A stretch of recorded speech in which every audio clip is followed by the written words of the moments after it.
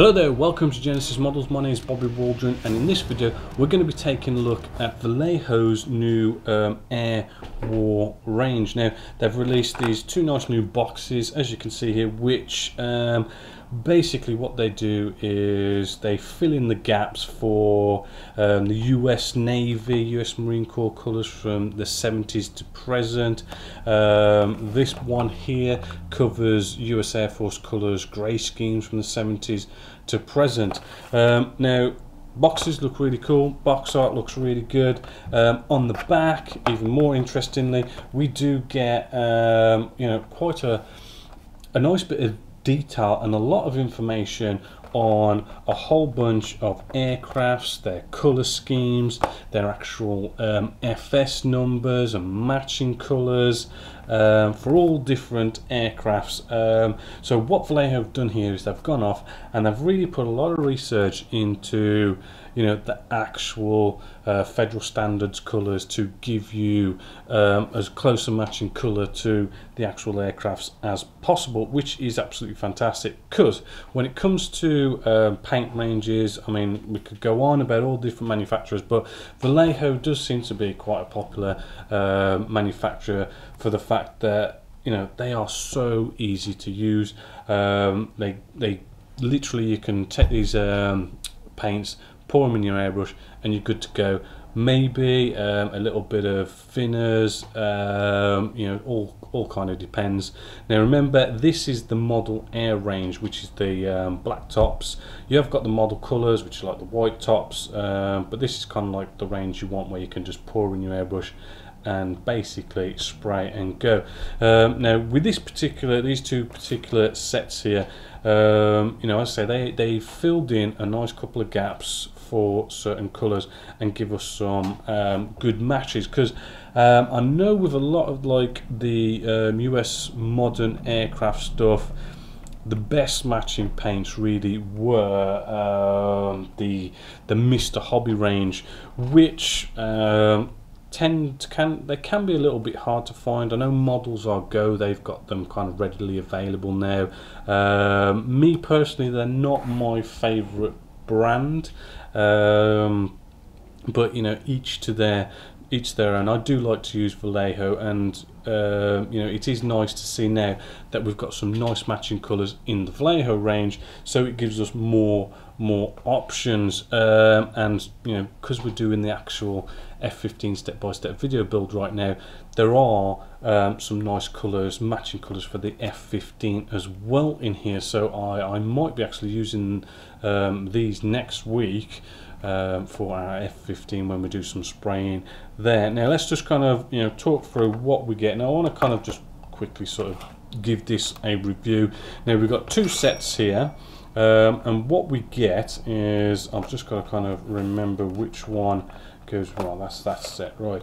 Uh, we've got our US Navy and US Marine Corps colors set here. Um, now with this one we get well each set you get eight lots of paints. Um, now with this one, you do get, um, which they almost seem to be sort of bulking um, this out a bit, you do get a surface primer, uh, which is already readily available, so there's nothing really new about that. You do get um, two other colours here as well, which are um, 71097 and 71 um, 71 120 and now this is dark ghost grey now these two colours are already available which I have just here. Now these two that I'm taking here are from my set that you see behind me. Um, exactly the same numbers but they've changed the name. They've changed um, 97 uh, medium gunship grey um, used to be grey primer and the uh, 120 US Air Force medium grey, they've seemed to change the name to dark ghost grey. Um, why they've done that, they're probably trying to sort of get their actual range sort of matching up with proper federal standards to um, basically make things look more accurate which is, is is fine by me. But then in this set as well we've also got um, two more colours that is already available, um, not really anything new about it, which is 121, uh, which they call Light Gull Grey. Um, from my set, just behind me, um, um, 121 US Air Force Light Grey. Um, basically, again, they've changed the name to make things sound more um, accurate. Also, again, we've got another one which is uh, 71114 medium grey, which is from the new set, and then from behind me we have uh, you know 114 again US blue grey.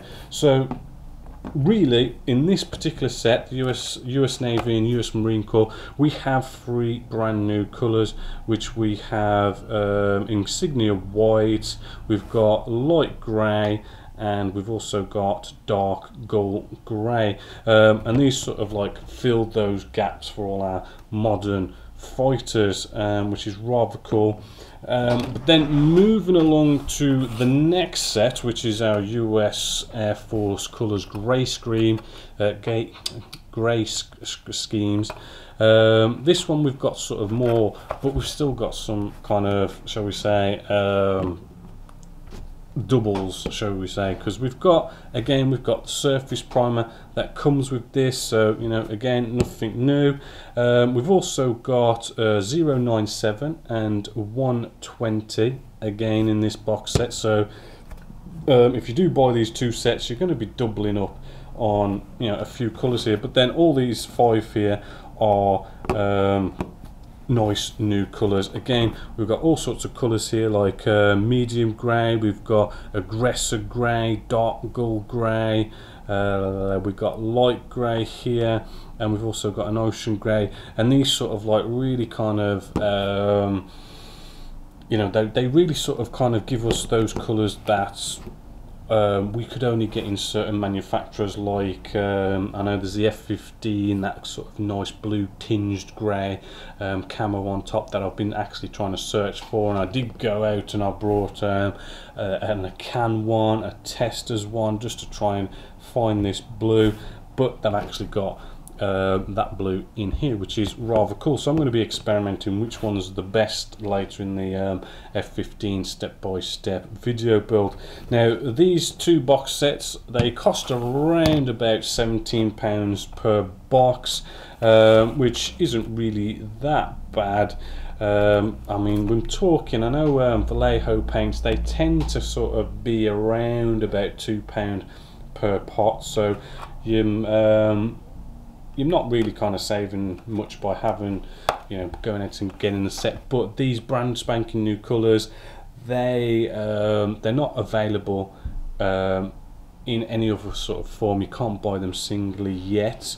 Um, so the only way to get these new colors is through getting these boxes which you also do get um, a rather cool um, color chart as well which is um, quite handy to have. I'll probably stick that up somewhere in the studio somewhere for everyone to sort of see. Um, but yeah I do like them. Um, I know there's quite a, there's a few repeat colors in here that's already available in their their um, model air range as it is.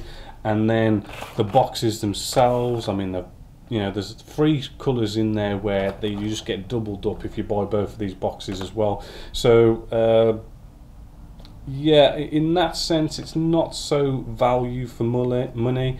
Um, but then I do like the new colours that they brought out here, which is rather good if you do like doing your modern um, US um, aircraft schemes, as well as um, a lot of these colours as well can go on to RAF stuff as well. So um, you know a good color color range and a really good uh, manufacturer for doing paints as well especially if you're a beginner these paints are definitely for you so hopefully you've liked this nice quick um, inbox review of Vallejo's new air war range